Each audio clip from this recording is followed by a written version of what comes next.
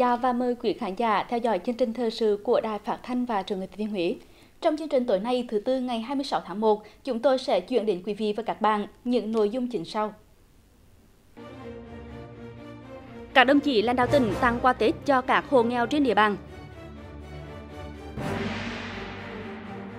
Ủy ban nhân dân tỉnh tổ chức phiên họp thường kỳ tháng 1 năm 2022 với nhiều nội dung quan trọng.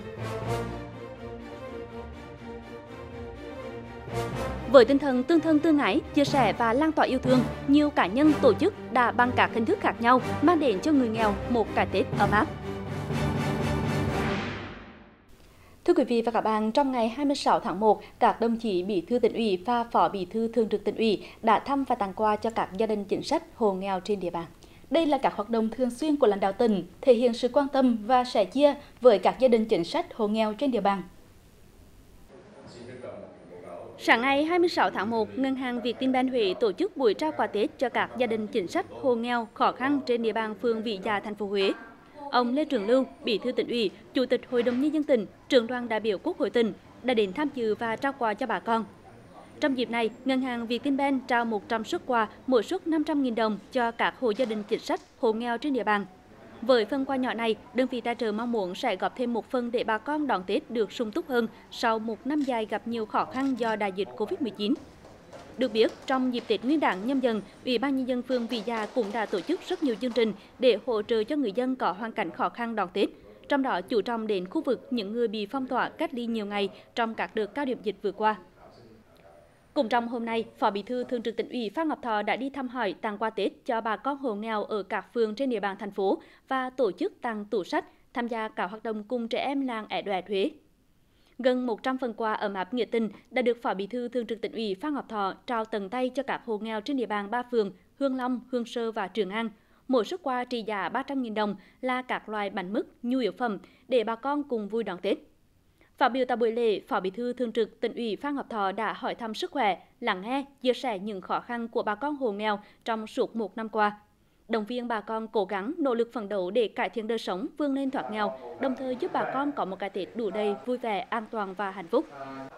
Cùng trong chiều nay, Phó Bí thư Thường trực Tỉnh ủy Phan Ngọc Thọ đã đến thăm hỏi, trao tặng tủ sách và tham gia hoạt động nấu bánh chưng bánh Tết cùng trẻ em làng SOS. Hoạt động nhằm tạo sự gần gũi, gắn kết với các trẻ mồ côi có hoàn cảnh khó khăn, động viên các em nỗ lực phấn đấu, nâng cao tri thức để hoàn thiện bản thân, trở thành những công dân tốt, đóng góp vào sự phát triển của xã hội.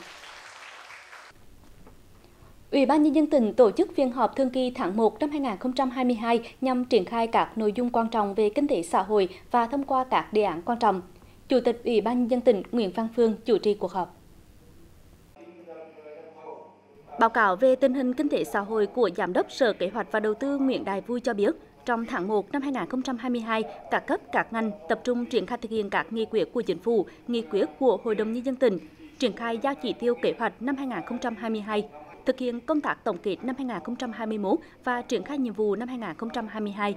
Đáng chú ý, chỉ số sản xuất công nghiệp tháng 1 ước tăng 9,46% so với cùng kỳ. Dịch vụ tiêu dùng xã hội ước đạt 4.101 tỷ đồng. Chỉ số giá tiêu dùng CPI tháng 1 ước tăng 1,47% so với tháng trước. Tổng vốn đầu tư toàn xã hội ước đạt 1.313 tỷ đồng, bằng 4,7% kế hoạch, tăng 5,9% so với cùng kỳ. Thu ngân sách nhà nước ước đạt 721,1 tỷ đồng, đạt 10,5% dự toán. Công tác phục vụ và tổ chức các hoạt động đón Tết Nguyên đán nhâm dần được chuẩn bị chu đáo, thực hiện đúng chủ trương phục vụ nhân dân đón năm mới và Tết cổ truyền, vui tươi, lành mạnh, an toàn, tiết kiệm. Đối với quà của Chủ tịch nước đã chuyển 17.155 xuất quà, kinh phí 5,36 tỷ đồng. Đối với quà của tỉnh đã chuyển 94.218 xuất quà với tổng kinh phí 32,480 tỷ đồng cho các đối tượng chính sách xã hội trên địa bàn tỉnh nhân dịp Tết Nguyên đán nhâm dần 2022. Sau khi nghe ý kiến từ các sở ban ngành địa phương, Chủ tịch Ủy ban nhân dân tỉnh Nguyễn Văn Phương đề nghị trước mắt các cấp các ngành triển khai đồng bộ các chính sách an sinh và phúc lợi xã hội, quan tâm chăm lo đời sống vật chất và tinh thần cho các gia đình chính sách, người có công, hộ nghèo, người có hoàn cảnh đặc biệt khó khăn, đảm bảo mỗi người, mỗi gia đình đều được đón Tết cổ truyền vui tươi, đầm ấm. Chủ tịch Ủy ban nhân dân tỉnh yêu cầu các cấp các ngành đẩy mạnh công tác tuyên truyền và tổ chức các hoạt động thiết thực kỷ niệm 92 năm ngày thành lập Đảng Cộng sản Việt Nam. Phát động các phong trào thi đua làm sạch vệ sinh môi trường đường làng, ngõ xóm, cơ quan, công sở. đẩy mạnh phong trào toàn dân xây dựng thừa thiên huế xanh sạch sáng tăng cường tuyên truyền, cổ động trực quan nhằm tạo không khí vui tươi phấn khởi cho nhân dân vui xuân đón tết. Chủ tịch ủy ban dân tỉnh đề nghị tiếp tục đẩy mạnh xây dựng kế hoạch tăng cường các biện pháp phòng chống tội phạm, phòng chống cháy nổ, giữ gìn an ninh trật tự, an toàn xã hội, đảm bảo an toàn giao thông, quan tâm công tác y tế dự phòng, công tác kiểm tra, đảm bảo vệ sinh an toàn thực phẩm, xử lý nghiêm các hành vi vi phạm an ninh trật tự, an toàn giao thông tàng trữ vận chuyển sử dụng ma túy pháo nổ đánh bạc gian lận thương mại kinh doanh hàng giả hàng kém chất lượng đầu cơ găm hàng tăng giá đột biến để thu lợi bất chính Dân tiếng Hương Xuân là nghi lễ do Ủy ban nhân dân thành phố Huế phối hợp cùng Trung tâm Bảo tồn di tích Cố đô Huế thực hiện trong sáng 26 tháng 1. Nghi lễ này vừa thể hiện lòng thanh kính của các nghệ nhân, doanh nghiệp, cơ sở sản xuất các mặt hàng truyền thống trên địa bàn đối với các bậc tiền nhân, vừa lan tỏa nét văn hóa của truyền thống con người xứ Huế và đặc sản của vùng đất cổ đô. Đèn thiên lụa hương hồ, hoa giấy thanh thiên, trầm hương trường an, bưởi cổm hương thọ, rượu minh mang hoàng đế phước vịnh, trà sen tây lộc, bánh chưng, bánh tét, an tây, phủ dương. Đến các loài mứt truyền thống thường sử dụng trong dịp Tết như bánh in, mứt hạt sen, mứt gừng của làng nghề Kim Long 22 mâm phong vị sản vật này là kết quả bình chọn của ban tổ chức từ những đặc sản, sản phẩm tiêu biểu nhất của 36 xã phường trên địa bàn thành phố Huế để cung tiến, tưởng nhớ các bậc tiền nhân. Cái hoạt động này thì cũng hướng đến một cái việc đó là à, chúng ta sẽ giới thiệu để quảng bá những cái sản phẩm của đặc sản các địa phương à, và thông qua cái việc lựa chọn một cái hội đồng bình chọn có uy tín Ờ, thì chúng ta cũng sẽ tạo ra một cái sự thi đua ờ, trong cái việc là luôn luôn phải nâng cao chất lượng mẫu mã của sản phẩm ờ, và kết hợp với đó thì chúng ta cũng phát triển cái văn hóa rồi là ôn lại cái truyền thống thông qua cái việc chúng ta lựa chọn ra những cái sản phẩm mà nó đã có truyền thống để chúng ta mà dân tiến cũng vào trong cung. Xuất phát tại không gian phố đêm Hoàng Thành, đường Lê Huân, phường Thuận Hòa đoàn rước dân tiếng Hương Xuân đi qua đường 23 tháng 8 vào Đài Nội và tiến hành nghi lễ dân cúng tại Thế Miếu, nơi thờ các vua triều Nguyễn. Đây là cái lễ một cái lễ hội có tính chất đương đại, nhưng chúng tôi dùng các cái nghi thức cổ xưa à, như tổ chức đoàn rước cũng có ba đào, tiền đào, hậu đào và trung đào. Thì à, cái đoàn rước được tổ chức uh, một cách uh, nghi thức uh, với tất cả các phục trang, trang cụ, uh, đào cụ và chúng tôi cũng đã à, cố gắng à, đưa các cái nghi tiết à, cung tiễn à, một cách nghiêm trang vào trong khu thể miếu và thực hành các nghi lễ à, như đúng những cái cái cái diễn ra của lịch sử khi mà cung tiễn các cái lễ vật vào cung. Phương Thuận Lộc được chọn là ném trả đinh đề nhị để làm một mâm dẫn dân cho vua thì lần đầu tiên mà được ờ, trong đoàn rước để mà những những cái sản phẩm cho vua thì em cảm thấy rất vui và tự hào khi mình cũng được ờ, đóng góp một chút sức mình để có thể ờ, góp một phần nhỏ giúp cho cái buổi lễ này nó được thành công tốt đẹp ạ. Thành kính, trang nghiêm nhưng cũng rộn ràng tươi vui với sắc màu của cờ, của hoa. Trong thanh âm của lễ nhạc và trong hương vị của Tết. Nghi thức dân tiễn hương xuân lần đầu tiên được tổ chức đã tái hiện nét văn hóa truyền thống Tết Huế, gửi lên những xúc cảm đối với nhiều người dân Huế và mang đến những trải nghiệm thú vị cho du khách. Thì mình được tới tham dự một cái chương trình mà tiến vua thì rất là ý nghĩa. Nghĩ đến à, cội nguồn là những cái sản phẩm đặc sắc nhất mà thâu tổng là để cúng lên cho vua các à, thế hệ vua trong thời mới này thì nó đó là một rất ý nghĩa đối với mình thì mình rất là đề cao cái chương trình này. Phải nói là mình rất là xúc động vì lâu rồi. Phải là khá lâu và chỉ họ biết qua sự sách mà thôi. Và hôm nay được là ừ, tái hiện lại. Đúng rồi. Và trong đất nước hòa bình mặc dù là dịch dạ nhưng mà đây là một sự cố gắng lớn của chính quyền địa phương cùng với là uh, trung tâm bảo tồn di tích đã, đã tổ chức. Và mình cảm thấy là đấy là một phần trong cái uh, dịp tết. Cảm thấy là vui vì có cái không khí lễ hội. Uh, of course I stay in Hanoi and Ho Chi Minh also.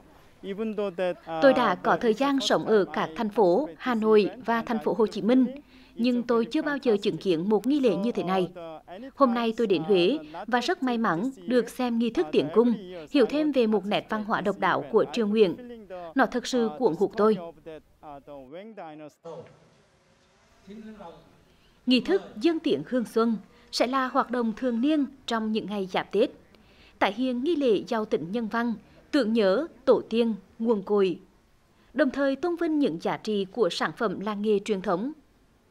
Hoạt động này sẽ góp thêm nỗ lực giữ gìn và lan tỏa những giá trị văn hóa tốt đẹp của con người xứ Huế và đặc sản vùng đất cổ đô. Nhân dịp đón Tết cổ truyền dân tộc Xuân Nhâm Dần 2022, sáng nay, Linh mục Võ Văn Giáo, Võ bề trên Đan viện Thiên An và các thành viên Đan viện Thiên An đã đến thăm và chúc Tết Ủy ban Nhân dân tỉnh, Phó Bí thư tỉnh ủy, Chủ tịch Ủy ban Nhân tỉnh Nguyễn Văn Phương tiếp đoàn. Tại buổi tiếp, theo mặt Đan viện Thiên An, Linh mục Võ Văn Giáo cảm ơn lãnh đạo tỉnh thời gian qua đã quan tâm tạo điều kiện thuận lợi cho các hoạt động của Đan viện. Nhân dịp Tết Nguyên đán, chúc các đồng chí lãnh đạo tỉnh sức khỏe, hạnh phúc, an khang, giúp tỉnh nhà thực hiện thắng lợi các mục tiêu, nhiệm vụ đề ra trong năm 2022. Thay mặt lãnh đạo tỉnh, Chủ tịch Ủy ban nhân tỉnh Nguyễn Văn Phương cảm ơn phái đoàn Đan viện Thiên An đã đến thăm và chúc tịch Ủy ban nhân tỉnh. Thông tin về tình hình kinh tế xã hội của tỉnh trong thời gian vừa qua, Chủ tịch Ủy ban nhân dân tỉnh cho biết, tuy bị ảnh hưởng bởi yếu tố dịch bệnh, nhưng Ủy ban nhân tỉnh đã tập trung chỉ đạo triển khai thực hiện nghiêm túc, đồng bộ và hiệu quả công tác phòng chống và kiểm soát dịch bệnh COVID-19, đồng thời tập trung hỗ trợ tháo gỡ khó khăn vướng mắc cho doanh nghiệp, ổn định tình hình sản xuất kinh doanh. Do đó, kinh tế xã hội của tỉnh tiếp tục có những điểm sáng tích cực, rõ nét trên các ngành lĩnh vực.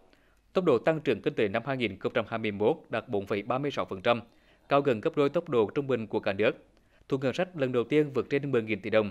kim ngạch xuất khẩu vượt mốc 1 tỷ đô la Mỹ. Chủ tịch Ủy ban nhân tỉnh Nguyễn Văn Phương khẳng định, thời gian tới, tỉnh sẽ luôn tạo điều kiện tốt nhất để đăng viện thiên an hoạt động theo quy định của pháp luật, tự do tín ngưỡng, đồng thời tăng cường hợp tác, hỗ trợ lẫn nhau trong quá trình phát triển. Từ đó phát huy tinh thần đoàn kết toàn dân tộc, chúng ta xây dựng khối đại đoàn kết toàn dân tộc, tốt đời, đẹp đạo. Vietinbank đã phối hợp với Đảng ủy khối cơ quan doanh nghiệp, Hiệp hội doanh nghiệp tỉnh trao tặng quà Tết cho người dân xã Hương Thọ, thành phố Huế và xã Bình Tiến, thị xã Hương Trà. Theo đó, Vietinbank Thừa Thiên Huế và các đơn vị phối hợp đã trao mỗi xã 250 triệu đồng và 450 suất quà Tết tới các hộ dân có hoàn cảnh khó khăn của xã Hương Thọ, thành phố Huế và xã Bình Tiến, thị xã Hương Trà. Trong những năm qua, bên cạnh việc phát huy vai trò chủ lực, trụ cột của nền kinh tế, Vietinbank còn là đơn vị tiên phong thực hiện các hoạt động an sinh xã hội, chương trình từ thiện nhằm chia sẻ trách nhiệm với cộng đồng xã hội. Trong đó, Vietinbank Thừa Thiên Huế đã chung tay cùng chính quyền địa phương thực hiện nhiều hoạt động xã hội hướng về cộng đồng như xây dựng nhà tình nghĩa, nhà tình thương, trao quà Tết cho người nghèo, đây là hoạt động truyền thống của Vietinbank nói chung và Vietinbank Thừa Thiên Huế nói riêng, góp phần chung tay cùng cộng đồng xã hội chăm lo Tết cho người nghèo trên địa bàn, động viên tinh thần cho các hộ gia đình vượt qua khó khăn, vươn lên trong cuộc sống, giúp người dân đón một cái Tết đầm ấm vui tươi. Cùng trong sáng nay, tỉnh đoàn Thừa Thiên Huế tổ chức chương trình Xuân yêu thương nhằm kết nối những trái tim thiện nguyện, giúp đỡ trẻ em có hoàn cảnh khó khăn đón một cái Tết nguyên đán vui tươi và ý nghĩa. Tổng cộng đã có 127 phần quà được trao cho các em ở Trung tâm Bảo trợ Trẻ Em Xuân Phú, Trung tâm Bảo trợ Trẻ Em An Tây, Trung tâm nuôi dạy trẻ mồ côi Đức Sơn, Mái ấm Hy vọng Nguyệt Biều và Trung tâm Bảo trợ Hoa Sen. Một phần quà bao gồm sữa bánh kẹo với tổng giá trị 42 triệu đồng. Đây là những phần quà đến từ nguồn vận động của tỉnh đoàn phối hợp với Ủy ban Mặt trận tỉnh và Hội bảo vệ quyền trẻ em cùng các mạnh thường quân trên địa bàn. Chương trình Xuân yêu thương là hoạt động ý nghĩa trong chương trình công tác đoàn và phong trào thiếu nhi năm 2022 nhằm kết nối những trái tim thiện nguyện, giúp đỡ trẻ em có hoàn cảnh khó khăn, giúp các em đón một cái Tết vui tươi, ấm áp và trọn vẹn. Tỉnh đoàn Thừa Thiên Huế cũng đã phối hợp với huyện đoàn Quảng Điền tổ chức chương trình Vui Tết nhâm dần cùng thanh niên công nhân năm 2022.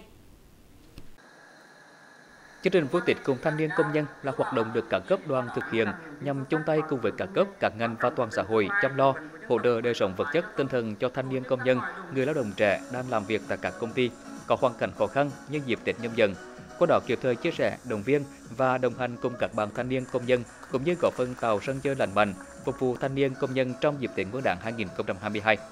Dịp này, tỉnh đoàn đã trao 30 phần quà trị giá 15 triệu đồng cho các bạn thanh niên công nhân thay lời chúc một năm mới thật nhiều niềm vui, hạnh phúc và vạn sự như ý.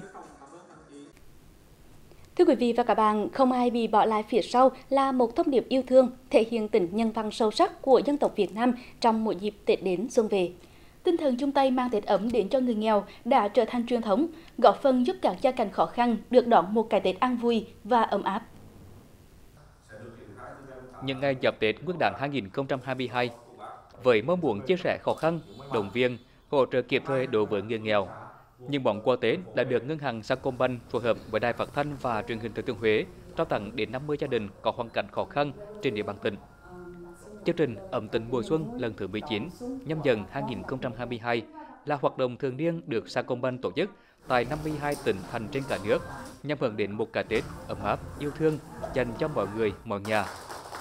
Món quà trị giá 1 triệu đồng gồm tiền mặt và thực phẩm thực sự là nguồn động viên, chia sẻ lo toan đối với những người nghèo khó đang đối mặt với nhiều khó khăn do bệnh tật và dịch bệnh. Lần, lần đầu tiên tôi dừng qua Tết và hôm nay cô cũng rất mừng có ưu tiền để sống trụ. Nghe tin nhận quà Tết thì mẹ rất là vui mừng, và mẹ rất là sung sướng vô cùng. Rồi là chứ cái ní là mua gạo thôi. Chương trình của ẩm tình mùa xuân này thì Sao Anh đã tổ chức và đã trao tặng hơn gần 80 tỷ đồng.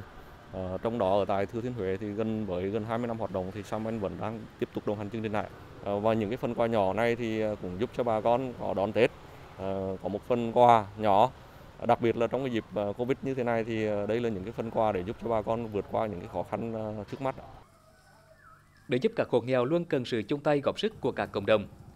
Hướng đến mục tiêu an sinh xã hội, chương trình nội nhịp người tình của Đài Phát thanh và Truyền hình Thừa Thiên Huế đã làm tốt vai trò khơi dậy và phát huy mọi nguồn lực trong cộng đồng để chăm lo cho người nghèo. Hơn 18 tỷ đồng mà chương trình đã vận động được trong 14 năm qua dành cho hơn 700 gia cảnh ngặt nghèo trong tỉnh đã minh chứng cho sự lan tỏa giá trị tinh thần, tương thân tương ái, là lành đùm lá rách của dân tộc Việt Nam. Mùa xuân năm nhâm dần 2022 này thì chương trình nội nhịp vệ tinh là bước vào năm thứ 14. Đây là một chương trình chuyên mục mà tồn tại à, lâu nhất à, trong các cái chương trình chuyên mục của Đài Phát thanh truyền hình thứ Thiên Huế TRT và tồn tại lâu dài bởi sự lan tỏa trong cộng đồng vì ý nghĩa nhân văn sâu sắc. Trong thời gian qua thì dịch bệnh Covid đã có ảnh hưởng à, đến tình hình chung của xã hội trong đó có chung một nội nhị cái tình à, như các doanh nghiệp à, do khó khăn trong hoạt động kinh doanh nên à, sự ủng hộ cũng không bằng trước nhưng à, những cái đóng góp của chương trình để người dân ta được mọi người ghi nhận. Và trong mùa xuân này à, cũng như bao xuân qua à, làm những người làm chương trình rất là ấm lòng. À, khi à, được à, đưa đồng tiền của những những người đóng góp đã đến tay người nghèo để góp phần ờ, cho mùa xuân nó tươi đẹp hơn cũng như trong cuộc đời của bao nhiêu hoàn cảnh nó đỡ vất vả khó khăn hơn. Hưởng ứng phong trào cả nước chung tay vì người nghèo, không để ai bị bỏ lại phía sau, Tết Nguyên đán nhâm dần 2022, tỉnh Thừa Thiên Huế cũng đã huy động mọi nguồn lực xã hội, triển khai nhiều chương trình hỗ trợ người nghèo đón Tết ấm no, hạnh phúc, đặc biệt là trong giai đoạn khó khăn do dịch bệnh. Trong cái điều kiện à, tình hình diễn biến dịch bệnh à, và chuẩn bị à, cho đón Tết thì ba ủy ban tỉnh cũng đã chỉ đạo sở lao động thương binh xã hội tiến hành thống kê các danh sách À, của người à, các hộ gia đình chính sách các hộ nghèo à, các vùng khó khăn để tiến hành có các hình thức để hỗ trợ kịp thời. Hiện nay thì chúng tôi đang có cái kế hoạch để phân bổ các quà của Chủ tịch nước. Rồi tỉnh Thừa Thiên Huế cũng sẽ hỗ trợ một số các điều kiện như là gạo, rồi các hàng hóa để chuẩn bị cho bà con vui xuân đón Tết. Những hoạt động cuối năm hướng đến người nghèo, các chương trình chung tay giúp người nghèo đón Tết an vui đã được nhiều ban ngành, đơn vị doanh nghiệp cùng với cộng đồng xã hội quan tâm góp sức. Mỗi phần quà được trao tặng là có thêm một hoàn cảnh khó khăn được sẻ chia. Bất kỳ sự trợ giúp nào dành cho người nghèo đều rất đáng trân trọng bởi sự chia sẻ của cộng đồng không chỉ để làm nên mùa xuân ý nghĩa, ấm áp tình người, mà còn tạo động lực cho chính những người nghèo vươn lên trong cuộc sống.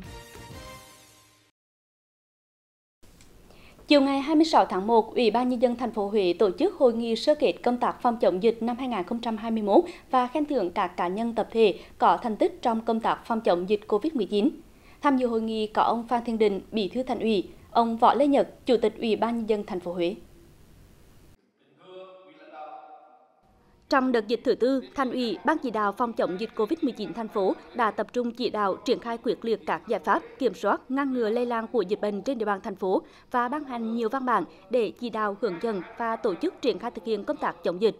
Các địa phương thành lập và kiện toàn 177 tổ phòng chống dịch Covid-19 cộng đồng, triển khai thành lập chốt kiểm tra y tế liên ngành tại ga Huế, bến xe phía Bắc, phía Nam. Các địa phương, đơn vị, doanh nghiệp trên địa bàn xây dựng kịch bản khi có F0, Ban chỉ huy quân sự thành phố và các địa phương ra soát cơ sở vật chất, sẵn sàng thu dung cách ly khi có yêu cầu. Đường dây nóng đã được kích hoạt để tiếp nhận thông tin liên quan đến COVID-19 và thành lập 38 tổ y tế lưu động tại 36 phường xã. Công tác cách ly giám sát y tế được chú trọng, công tác xét nghiệm phòng chống dịch bệnh COVID-19 được thực hiện nghiêm túc, đáng chú ý với việc tổ chức tuần cao điểm tâm soát COVID-19 trên địa bàn thành phố Huế. Công tác tiêm chủng vaccine phòng COVID-19 đã đạt kế hoạch đề ra và hiện nay đang tiếp tục triển khai đẩy nhanh theo đúng tiến độ kế hoạch và mục tiêu của Sở Y tế. Tổ chức bố trí khu cách ly điều trị tại bệnh viện thành phố Huế và phối hợp tổ chức khu cách ly điều trị F0 không triệu chứng tại khung T4. Thành phố đã tiến hành triển khai nội dung thu dung điều trị cách ly tại nhà với 36 trên 36 phường xã. Công tác kiểm tra giám sát, công tác tuyên truyền được chú trọng, việc triển khai thực hiện một số chính sách hỗ trợ người lao động trên địa bàn thành phố được thực hiện đúng quy định. Dịp này, hội nghị đã biểu dương và khen thưởng 40 tập thể và 48 cá nhân đã có thành tích trong công tác phòng chống dịch COVID-19. Theo nhận định của Chi cục Kiểm lâm tỉnh Thừa Thiên Huế, tình trạng khai thác, săn bắt động vật rừng, mua bán vận chuyển lâm sản trái pháp luật trong dịp Tết Nguyên đán nhâm dần 2022 trên địa bàn tỉnh được dự báo sẽ diễn biến phức tạp, Do vậy, các đơn vị kiểm lâm, chủ rừng phải tăng cường các biện pháp nghiệp vụ, đề cao tinh thần trách nhiệm, tuyệt đối không chủ quan trong thi hành công vụ. Theo đó, Chi cục Kiểm lâm tỉnh Thừa Thiên Huế yêu cầu các đơn vị chủ rừng phải chủ động nắm chắc tình hình quản lý, bảo vệ rừng trên địa bàn được giao, chủ động xây dựng kế hoạch phối hợp với các đơn vị kiểm lâm, các cơ quan chức năng và chính quyền địa phương tổ chức tuần tra truy quét tại rừng trước, trong và sau Tết Nguyên đán các đơn vị kiểm lâm bố trí lực lượng, duy trì quân số tại các trạm, chốt, bảo vệ rừng, chủ động nắm bắt thông tin, sẵn sàng triển khai lực lượng để phối hợp với các đơn vị chủ rừng, chính quyền địa phương và các đơn vị liên quan, làm tốt công tác đấu tranh phòng ngừa, kịp thời ngăn chặn, bắt giữ và xử lý nghiêm các hành vi khai thác, mua bán, vận chuyển, sử dụng tiêu thụ các loại động thực vật khai thác trái pháp luật. Trong đó chú trọng xây dựng mạng lưới thông tin, kiểm soát và ngăn chặn triệt để tình trạng vận chuyển lâm sản trái phép trên các tuyến từ hai huyện trọng điểm, Nam Đông và A Lưới về đồng bằng tư hữu đồng thời tăng cường lực lượng công cụ phương tiện phân công ứng trực 24 trên 24 giờ tại các trạm bảo vệ rừng phù hợp giữa lực lượng kiểm lâm và bảo vệ rừng chuyên trách ở các tuyến đầu nguồn như Tả Trạch, Hữu Trạch, Sông Bồ, khu vực lòng hồ thủy điện Hương Điền, Bình Điền, tuyến đường 71, 74 nhằm đảm bảo hiệu quả công tác nhiệm vụ quản lý bảo vệ rừng được giao. Thưa quý vị và các bạn, cứ sau 20 tháng chạp hàng năm, tại cả khu vực bảng hoa tập trung của thành phố Huế lại tấp nập đủ chủng loài hoa được vận chuyển về. Người đi chợ hoa không chỉ để mua mà còn được hòa mình vào muôn sắc của mai, đào, cúc, lan. Hy vọng về một mùa xuân đầm ấm hạnh phúc. Tuy nhiên năm nay, tình hình dịch bệnh đã ảnh hưởng nhiều đến sức mua, giá cả và tâm lý mua sắm của người dân dịp Tết. Không còn hình ảnh người mua người bán tấp nập như những năm trước. Chỉ còn vài ngày nữa là đến Tết, nhưng cả khu vực chợ hoa vẫn trong tình trạng điều hưu. Người bán ngóng chờ khách còn người mua cũng không mấy màng mà. Các loại hoa năm nay được đánh giá là phong phú về kiểu dáng giống loài, nhưng vì ảnh hưởng của tình hình dịch bệnh, người dân chủ động tiết kiệm chi tiêu nên sức mua những ngày cần Tết vẫn không khả quan. Năm nay nói chung là hoa rất là nhiều, mặc, mặc dù là bị dịch bệnh nhưng mà họ trồng rất là nhiều hoa rất là đẹp. Nhất là cái hoa, loại hoa này từ Đà Lạt về, Đà Lạt về hoa rất là nhiều. Huế cũng nhiều nhưng mà Huế toàn cúc với là mai vàng. Thì quanh quanh đi, đi, đi xem hoa thôi. Hoa về rất là, là phong phú về chủng loại màu sắc. À, hoa là so với mọi năm là hoa năm nay rất là đẹp. Cái giá cả thì năm nay là tình hình dịch bệnh cho nên thấy cái giá hoa đưa ra thị trường là cũng khá là hợp lý rẻ hơn so với mọi năm. Nhìn chung số lượng hoa được bày bán năm nay cũng ít hơn nhiều so với các năm trước. Trong đó cúc vàng vẫn là loài hoa được trưng bày nhiều nhất bởi đặc tính dễ trồng, hoa nở lâu, lại có giá thành khá rẻ nên được nhiều người yêu thích. Điểm xuyến giữa sắc vàng của cúc là những giống hoa quen thuộc khác như hoa đào, lan hồ điệp, điền lan, kim chuông, thạch thảo. Giá hoa năm nay có sự chênh lệch nhẹ. Ngoài các loài hoa như lan hồ điệp, mai vàng có giá bán tăng từ 10 đến 15%, thì các loài hoa khác đều giảm giá nhẹ. Chi phí chăm bón, vận chuyển cao nhưng giá bán lại rẻ, sức mua chậm. Lo lắng mất Tết, đó là tâm trạng chung của nhiều chủ nhà vườn và thương lái trước tình trạng buôn bán ế ẩm những ngày này. Trồng được cây đào mang vào đây phục vụ cho bà con chơi Tết nhưng mà dịch dã với ờ, cước xe các thứ nó mất nhiều công sức lắm. Năm ngoái người dân còn đi chơi rồi xem rồi mua đào và hoặc mua mai, mua cúc rất nhiều nhưng mà năm nay ít lắm. Thi thoảng với có người đi khách họ đến họ hỏi họ toàn gọi là hỏi để đấy thôi. À, năm nay là tình hình ờ, rất khó khăn, đô thì cao. Thì ờ, dân cực, cực, cực khổ từ ngày 19 trừ là chưa có ai đồng đầy một cặp. Cả chậu hoa là năm nay giảm hơn năm ngoái. Và cái vì một cặp này là cầm 500 ngàn, bà con họ đã làm ra một 6 tháng trời mới được cái gì nữa. Do ảnh hưởng của dịch bệnh khiến sức mua giảm, nhưng nhiều người dân vẫn tìm đến chợ hoa như một địa điểm thú vị để lưu giữ những khoảnh khắc ngày xuân của bản thân và gia đình. Hình ảnh những tà áo dài thước tha bên hàng hoa rực rỡ sắc màu cũng đã phần nào góp phần xua đi không khí điều hiu, tô điểm thêm vẻ đẹp của ngày xuân xứ Huế. Em từ Phan Thiết em đến Huế du lịch chị em thấy vườn mai đây đẹp. Ừ, Em muốn đến đây để dụ, lưu giữ lại những kỷ niệm ở đây, những bức ảnh đẹp ở đây chị. Hoa năm nay là là rất phong phú, rất đẹp. Là nhất là cái hoa mai của Huế là năm nay là rất hoa rất nhiều và rất đẹp. Còn các loài hoa là có những cái loài hoa rất rất, rất là và mới như như chẳng hạn như là hoa hoa sâu băng này là là rất đẹp. à, giá cả thì là nói chung là cũng phù hợp. à, cũng không phải cũng đắt và cũng rẻ rất phù hợp với người tiêu dùng.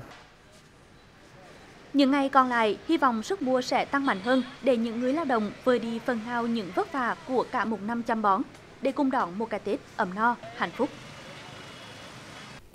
Chương trình thời sự tối nay của Đài Phát thanh và Truyền hình Thừa Thiên Huế xin được kết thúc tại đây. Cảm ơn sự quan tâm theo dõi của quý vị và các bạn. Thân ái chào tạm biệt.